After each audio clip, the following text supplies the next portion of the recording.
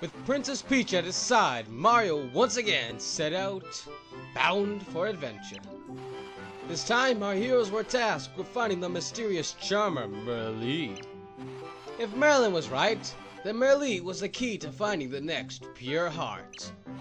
Never one to flinch from danger, Mario set out to find Merlee's mysterious mansion. But little did he know, the evil works of dastardly Count Bleck awaited at every turn.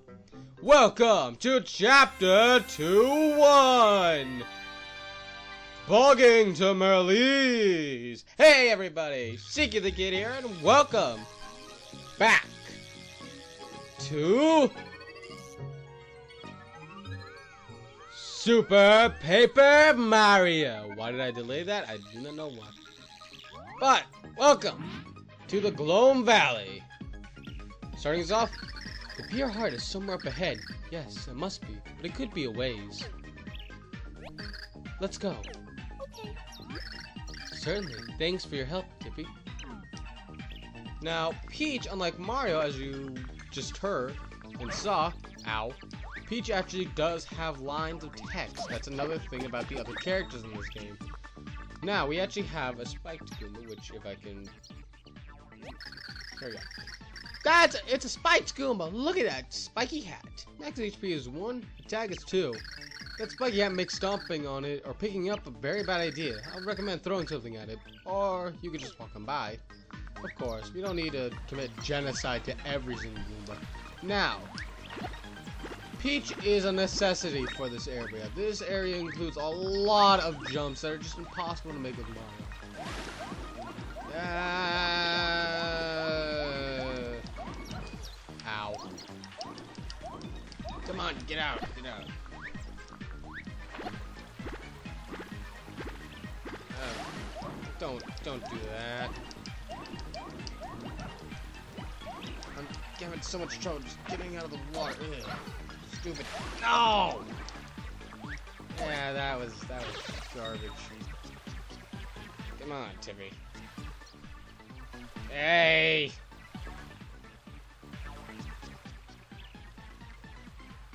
Oh yeah, now you come on screen. Now as soon as I can't get the thing. Hey. Thank you. That's Cheep Cheep. Like all fish, it lives entirely underwater. Max HP is 2, attack is 1. That swims along lazily, minding its own fishy business. No important characteristics of note, it's a fish. Yes, I struggled that long just to show you that. And we have a locked door. It's locked. Yes, let me just confirm that. Alright. So we need a way up. Well, unfortunately, I don't think we need Peach for this one. I think, yes, as you can see, we need Mario to flip into 3D to hit these three-dimensional blocks. We got paratroopers. I've already went over before, Ah! Oh, I didn't even hit the sheet. That's extra. But yeah, I'm gonna switch back to Peach because I do want to give the new character we have a little bit of screen time. You know, you gotta be fair to everybody mean... Yeah, okay, there we go. Anyway, no!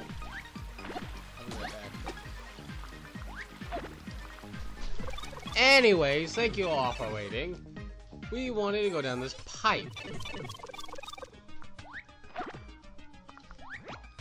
And once upon a time, defeating a bunch of enemies in a room will give you what exactly? A small chest. Out of curiosity.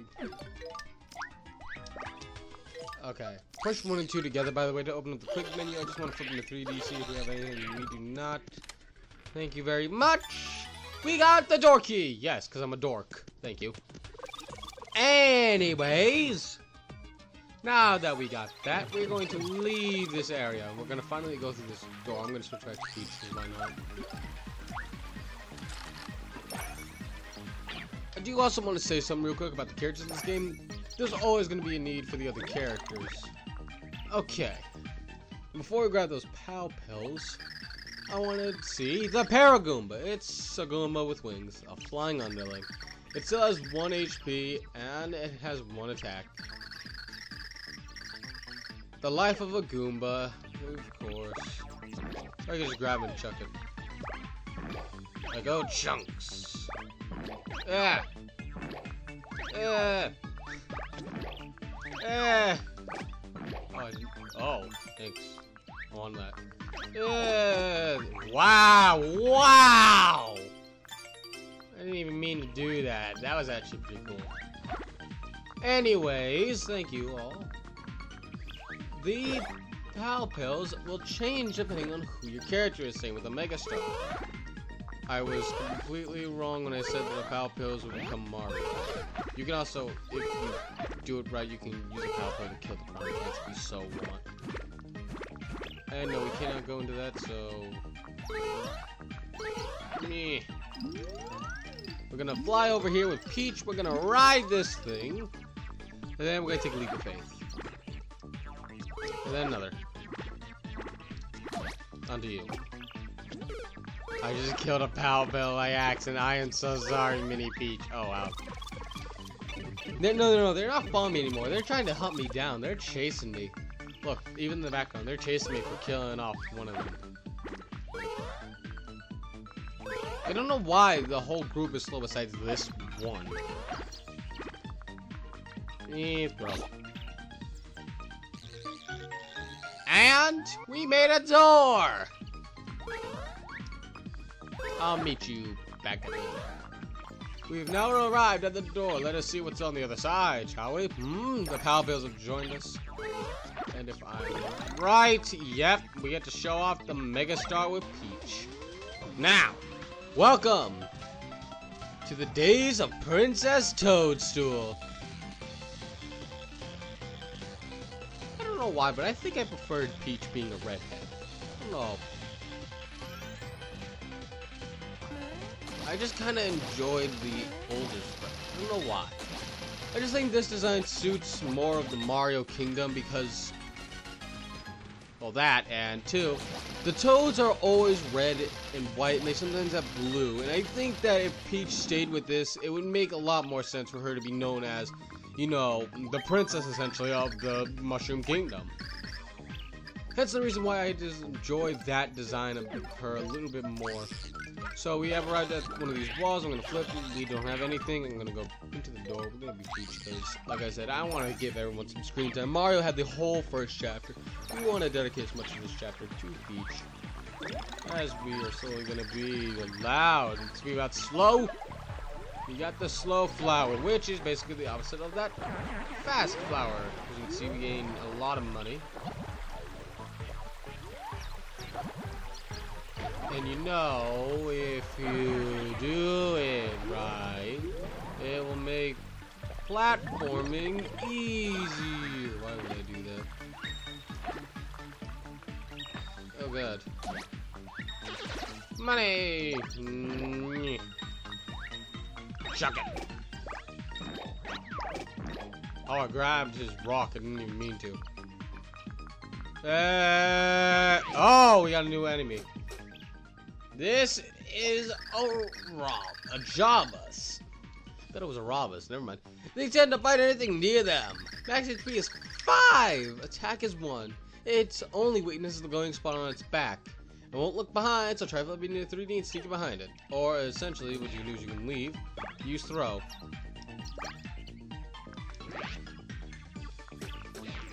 If you use throw at the right time, you could grab it before transfer. Oh, no you can't. I thought you could. Ow. You can see its neck will extend to make sure you can't get around it. And we're going to go into this pipe. Something about this room just doesn't seem right, so why don't we use Tippy? Oh no, I don't care. There's a switch. Even if you can't see, you can still activate it. We want to do that. We got another pipe. What's in this pipe? Is it another pipe? No, it is... An experience gun. I mean a Growmeba. It can clone itself over and over again. Active HP is 2 and attack is 1. If you defeat the main one, the clones will die. Primary one has slightly different moves and looks, so watch closely. If you don't want to bother, you can defeat them all with an item. Now, I do also want to make mention, this Paper Mario game is kind of unique in the terms that it uses words like die. What other kids games do you know that allow them to keep using words like that, especially for a game that's only rated E10? I mean, not even Smash Brothers really say die. Anyways, the reason why these guys I like to call experience grinders is for one reason.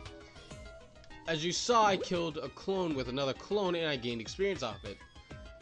You let this thing grow out and eventually you can gain a ton of experience. I'm gonna just grab one and be ready. Ow. He. You will not. I wanted to also show you do not get any points at all if you um do that. Okay, we're gonna turn to Mario. Cause I, nah, what you Peach?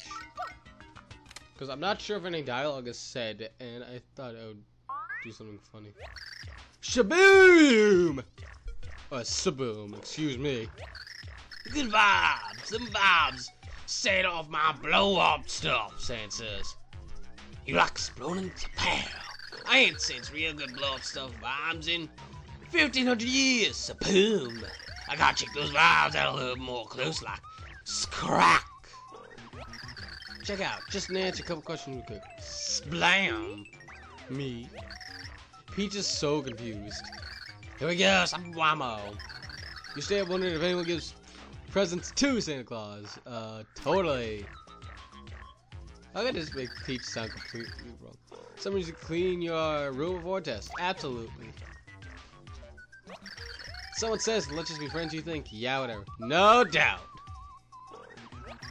You don't really understand why I'm asking you all these questions. True than true. I can just imagine Peach saying it with that stupid smile. You who think shopping online is a wonderful magical experience. Nintendo promoting online sales. Right on, dude. You want to put a shirt inside out but didn't bother reversing before going out. All the time. You want to be sleeping when you're awake, but when you're tired, you want to wake up. Always. No, not exactly. Always. Getting real tired of these questions. Um, yeah. So just shut up. Gotta, gotta, gotta, it's a boob! You got some tasty vibes, Sublime! Mine's right out now, Sublabo! You guys are worthy of my power! Hello, Boomer! The exploding pistol named Boomer! Join your party. You're supposed to join your party, not become your friend. Use Boomer's round of all foes and blocks. When you want to switch Pixls, go to the Pixl menu and pick another one. Pickle menu. I said pickle, I did not say Pixl. That's kind of funny. Each second explodes into the next. Bammo! Bombs away! Anyways, you now have the ability to switch our Pixls. We can select throw or boomer. Which also work really well together. Now, I do want to show a small glitch. It's not usual that I do this type of thing. Blow cracks in the wall. If you are to go into this room and flip back, the chest in the center will go away. What's even funnier about this is, for some reason, this is not a permanent effect. Once you leave the room and come back, this glitch can never happen again. It will only ever happen the first time you get Boomer, as I'm going to show you.